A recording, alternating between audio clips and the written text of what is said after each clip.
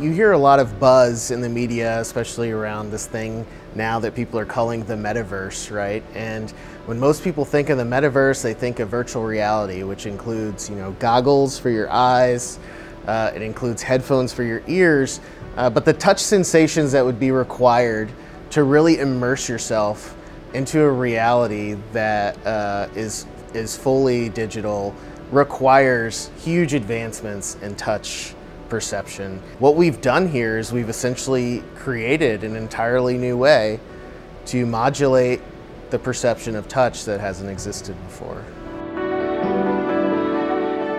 So we've created a device that you could integrate into a touchscreen that by heating the surface of the screen, you actually heat the outer layer of your skin, just that outer surface layer, and it changes the friction just for that moment.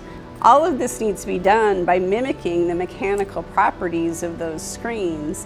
And this research actually takes us towards being able to do that, be able to create the same type of effects when you touch those surfaces in real life.